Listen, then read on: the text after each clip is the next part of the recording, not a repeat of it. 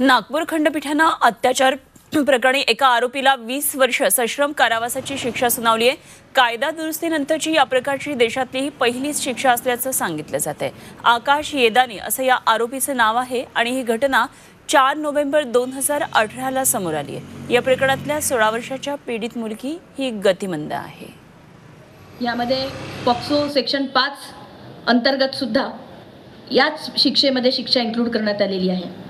मला एवढंच सांगायचं आहे की क्रिमिनल अमेंडमेंट ॲक्ट दोन हजार अठरा नंतर आलेली ही अशी शिक्षा आहे की ज्यामध्ये वाढीव जी शिक्षा मुदत केलेली होती कमीत कमी वीस वर्ष अशा पद्धतीचं जजमेंट माननीय न्यायालयाने या केसमध्ये दिलेलं आहे. अतिशय वाखाणण्याजोगं जजमेंट आहे. छत्रपतींचा विचार म्हणजे